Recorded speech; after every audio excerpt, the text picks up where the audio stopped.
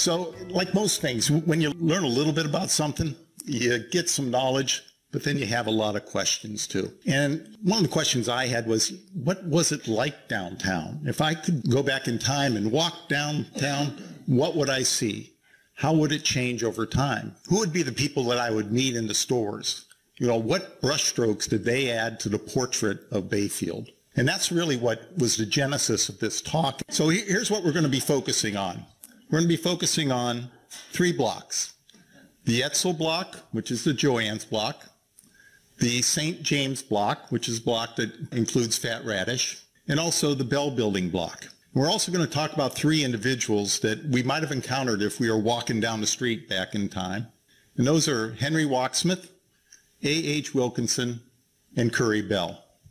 So let's start with the first building. So this one is the Etsell Hardware building. It is Joann's. So this one was built in 1883.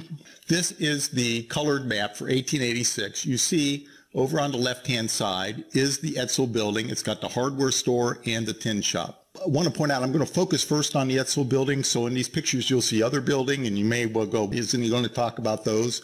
I will later, but we're going to focus on that Etsell building first. It was built for 3,000 to $4,000. It has every article of hardware or tinware line and he conducts a manufacturing department where everything in tin, sheet, iron, copperware is produced, also repairing done. And the green one is the tin shop. The green indicates it's some type of non-combustible material. I've scratched my head over that because I don't think the building was ever any kind of brick or cinder block. That section did have a cement floor. So that might be the reason why it is green and not yellow.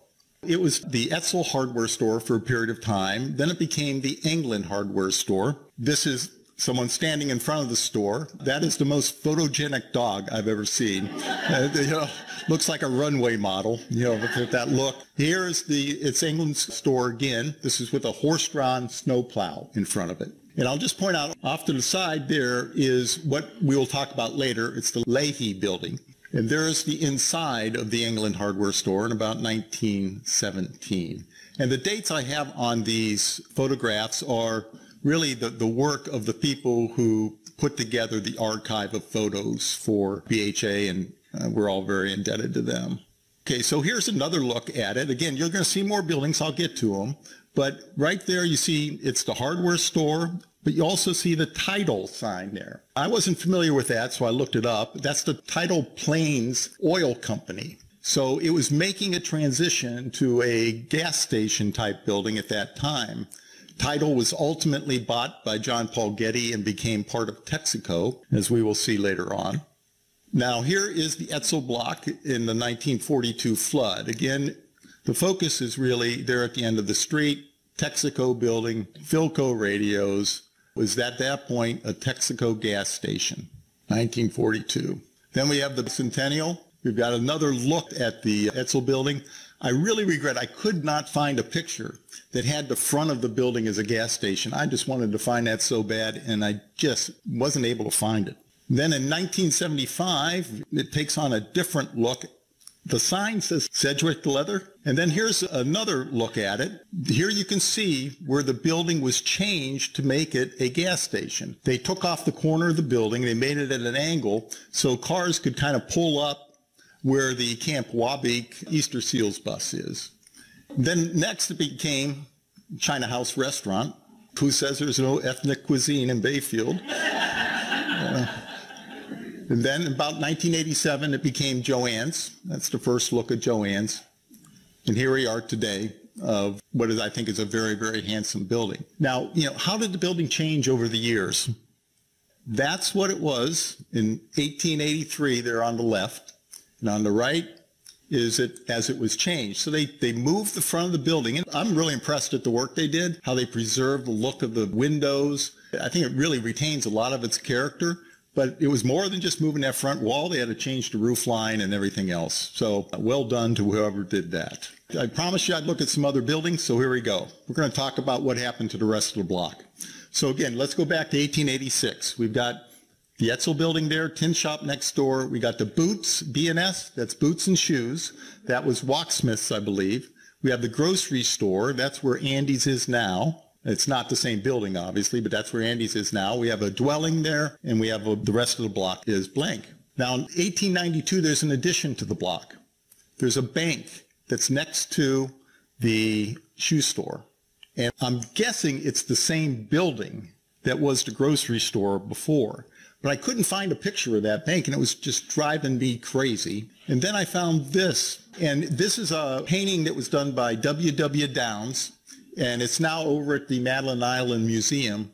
And this is a fount of information that it just helps so much putting things together. That's the Etsell building there. That's the boots and shoes store. That's what was the grocery store. And there's the Bell building down there. This is a scene, I think, somewhere between about 1888 and 1892 because the, the Bell building was already put together. Here's Downs. He's an attorney. Let no one say an attorney didn't do something useful. He, he, gave us that painting. And this is what I found in the painting, which I really got excited when I see that. When you blow it up, there it is, Lumberman's Bank. There it is. It was in the store that I think used to be the grocery store. Okay, then the next thing that was put in was the meat store next door, and we see something has changed on this map. Now we have a brick building there. The meat store is brick. Otherwise, the streets is the same as before. 1911 map, we have a couple of additional changes. We've got the barber shop here. Then we've got what we know as the First National Bank right there at the end of the block. This building has become a printer and water motor downstairs. Don't really know much more about it than that. But here's, I think, a pretty good look at the block. Here's the bank. There is the printing shop, I guess. Here's the shoe store. Right there is the meat market. And right next door, there's the wooden building that was the barber shop. So here's the bank. There's the dwelling right there. There's the grocery store printing office, shoe store, meat store, barber shop, Etsell building. And when you zoom in on the sign, you see that that's a sign for the Wachsmuth's shoe shop. Henry Wachsmuth was born in 1855 in Germany, arrived in Bayfield 1882. He was a shoemaker. He was a pretty big person in Bayfield. He worked as the town chairman, equivalent of the mayor, for a number of years. He started the Bayfield Progress to compete with the Bayfield County Press that was then owned by Curry Bell. And one of his civic contributions was $1,000 for the construction of the dock at the foot of Rittenhouse. Uh, Henry had the nickname uh, Whiskers, but I mean, I tried to research it, and for the life of me, I cannot figure out how he got that name. Uh, but we'll just leave that as a mystery.